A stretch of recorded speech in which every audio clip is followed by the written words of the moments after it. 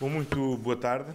Queria começar por agradecer eh, mais uma vez a Michel Barnier vir eh, a Portugal eh, e trabalhar com uma proximidade tão grande connosco neste processo tão difícil que tem sido a condução das negociações sobre o Brexit. Como sabem, hoje de manhã o Conselho de Ministros aprovou o plano de contingência, de forma a garantir a maior segurança aos cidadãos britânicos residentes em Portugal, aos cidadãos portugueses residentes no Reino Unido, às nossas empresas e e às nossas economias, para a eventualidade de não haver um acordo. Mas insistimos, a pior solução para o Brexit é não haver acordo. Hoje estamos mais longe de um acordo do que estávamos a semana passada e é urgente que as autoridades britânicas eh, tomem a iniciativa de dar os passos necessários para que possamos, até às 23 horas do próximo dia 29 de março, obter aquilo que neste momento estamos mais afastados, que é um bom acordo. Essa é a melhor forma de proteger aquilo que é essencial. Os cidadãos, as nossas empresas, a nossa economia e, tão importante, a preparação da relação futura entre, entre a União Europeia e o Reino Unido. Portugal quer mais uma vez reafirmar total confiança na forma como Michel Barnier tem conduzido todo este processo negocial. A atitude da Comissão, do Conselho, tem sido exemplares e aquilo que desejamos é que o Reino Unido esteja em condições de corresponder à forma profissional, responsável, clara, como as negociações do lado europeu têm sido conduzidas por Michel Barnier. Merci beaucoup. Michel. Euh, merci sincèrement, euh, euh, cher Antonio, Monsieur le Premier ministre, de cet accueil et de ce qui a été dit sur le travail que j'ai l'honneur de conduire depuis maintenant 18 mois au nom de l'Union européenne, avec la confiance et dans le cadre d'un mandat des 27 chefs d'État de gouvernement, des résolutions du Parlement européen, et en ayant le souci que cette négociation extraordinaire, très complexe, extraordinairement complexe, euh, soit une négociation ouverte et transparente.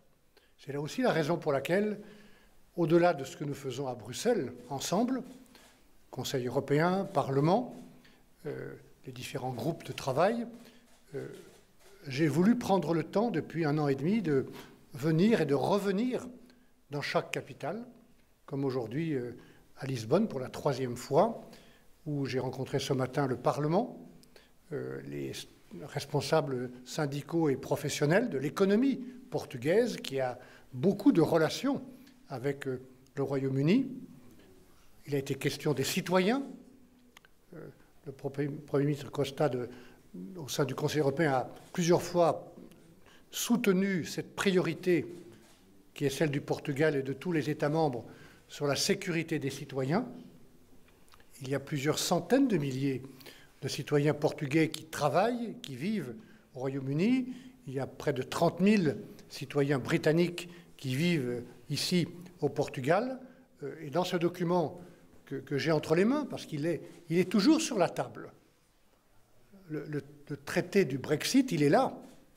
C'est le meilleur traité possible que nous avons agréé après 18 mois avec le, gouvernement de Theresa May. Et euh, ce, traité est toujours sur la table comme euh, le meilleur traité pour organiser ce que nous souhaitons, et ce que je souhaiterais jusqu'au bout, un retrait ordonné du Royaume-Uni, qui nous permet d'avoir, euh, Monsieur le Premier ministre, la base de confiance entre le Royaume-Uni et nous pour engager le plus vite possible ce qui est le plus important au-delà de la séparation, c'est la relation future. Euh, le Royaume-Uni restera un, pays euh, proche, euh, un, pays ami, un pays partenaire, un pays allié pour notre sécurité. Nous devons très vite être en mesure, je l'espère, de construire ce partenariat, de consolider cette alliance et, de, consolider aussi cette amitié. nous sommes dans un moment très grave après le vote intervenu euh, au Parlement britannique et à la Chambre des communes avant-hier.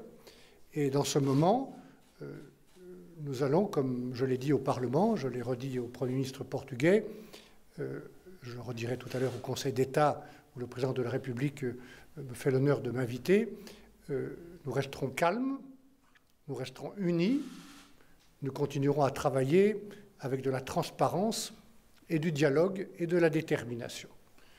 Voilà l'attitude qui sera celle de l'Union européenne. Et nous attendons maintenant que le Premier ministre britannique, qui a ouvert euh, un dialogue politique pluraliste, nous dise comment euh, elle voit les prochaines étapes pour euh, parvenir à ce retrait ordonné tel que le Royaume-Uni l'a souhaité et tel que nous voulons l'organiser. Une question? Monsieur Barnier, uh, what kind, uh, what do you want to, um, to expect in uh, Theresa May's deal? Uh, what do you want to find? What kind of assurance to negotiate, please? Madame May doit revenir devant son Parlement. Euh, c'est la responsabilité euh, des parlementaires britanniques, du, gouvernement britannique. Euh, euh que de dire ce qu'ils pensent de ce projet de traité que nous avons négocié ensemble. Ce traité, nous l'avons négocié non pas contre le Royaume-Uni, mais avec le Royaume-Uni.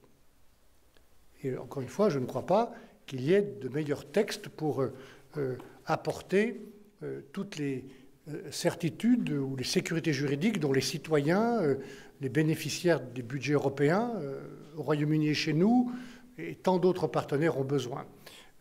Donc nous, attendons maintenant que, à travers le dialogue politique qui est engagé à Londres, euh, Madame May nous dise comment elle voit les choses pour, pour l'avenir.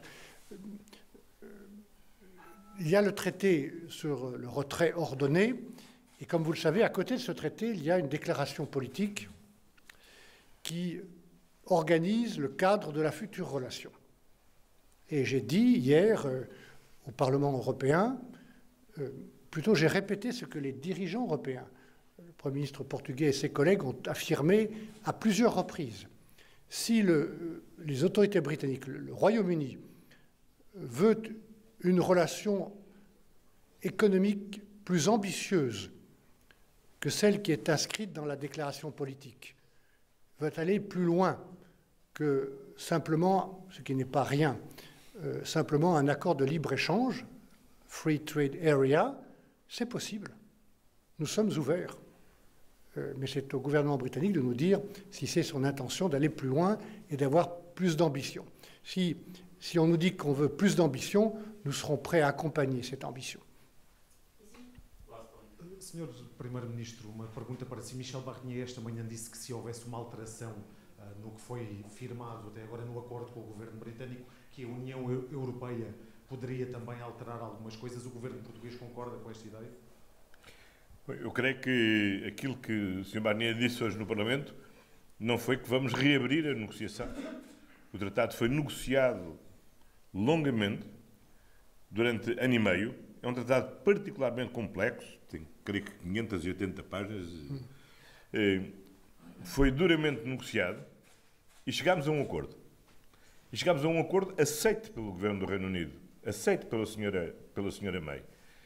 Eu, eu, recordo que desde o primeiro minuto o Conselho Europeu e a União Europeia têm procurado ajudar governo, os governos britânicos. Primeiro, antes do referendo do Brexit, fizemos um acordo com o Sr. Cameron para que o Sr. Cameron tivesse as melhores condições e as condições que ele nos solicitou para obter uma vitória no referendo. Depois do Brexit, abrimos as negociações. Michel Barnier trabalhou duramente ao longo deste ano e meio com a sua equipa, coordenando todos os Estados-membros, pondo 27 Estados-membros a terem uma posição comum na negociação com o Reino Unido e chegámos ao acordo que o Reino Unido aceitou através do seu, do seu governo. A última coisa que nos, passa, nos passava pela cabeça é que depois de termos negociado tudo isto, depois de ano e meio, eh, chegado ao Reino Unido, o governo britânico não tinha a maioria no Parlamento para a aprovação desta, desta maioria. Portanto, neste momento não se trata da União Europeia, não se trata do Sr. Michel Barnier dar qualquer passo. Eh, a senhora May ficou de apresentar eh, até dia 21 ao Parlamento Britânico uma nova, uma nova posição. Como disse aqui o Sr. Barnier, e bem, se o Reino Unido desejar desde já expressar uma relação mais ambiciosa com a União Europeia do que aquela que está na declaração política anexa ao acordo, estamos, estamos disponíveis. Nós estamos, aliás, o que nós gostaríamos mesmo é que o Reino Unido continuasse na União, na União Europeia. Não fomos nós que pedimos ao Reino Unido para sair. Portanto, tudo o que o Reino Unido queira para ficar na União Europeia ou ter a relação mais ampla possível com a União Europeia, obviamente são bem-vindos e não terão nenhuma oposição por parte, por parte da, da, União, da União Europeia. Si je Évidemment. juste ajouter un mot sur euh, le contexte euh, grave où nous sommes, euh, grave, euh, et avec un temps limité. J'ai dit souvent le the clock is ticking. hein. Euh, dans ce moment grave, nous devons euh, être lucides et euh, le vote qui est intervenu avant-hier euh, euh, renforce euh, le risque qui existe euh, d'une sortie sans accord, d'un no deal. Et euh, ce n'est pas du tout euh, l'option à laquelle nous travaillons. Je reste déterminé, au nom de l'Union, avec la confiance des dirigeants européens du Parlement, à travailler pour un deal, pour organiser un retrait ordonné. Mais euh, ce risque existe, et depuis des mois, nous l'avons dit. Voilà pourquoi nous continuons et nous intensifions le travail de préparation, y inclut cette option cette, cette hypothèse d'un no deal euh, auquel nous pourrions avoir à faire face euh, dans quelques semaines ou quelques mois.